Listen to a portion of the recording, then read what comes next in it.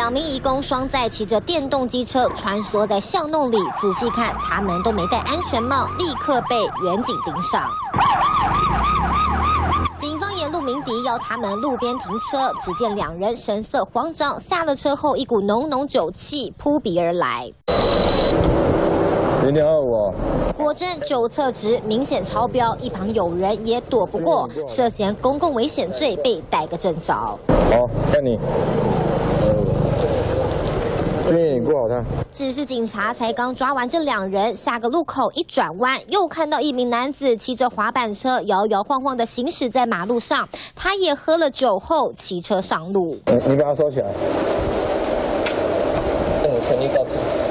涉嫌公共危险罪啊！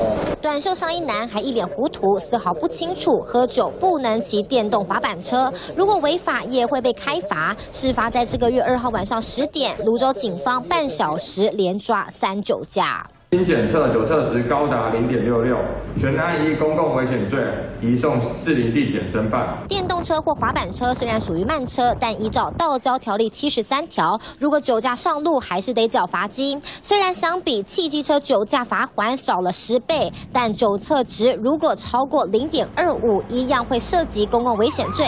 喝酒小酌不是不行，只是酒后只能当乘客，否则就靠双脚走路回家，可别贪图方便，侥幸上。上路。三立新闻何梦哲、陈天路新闻报道。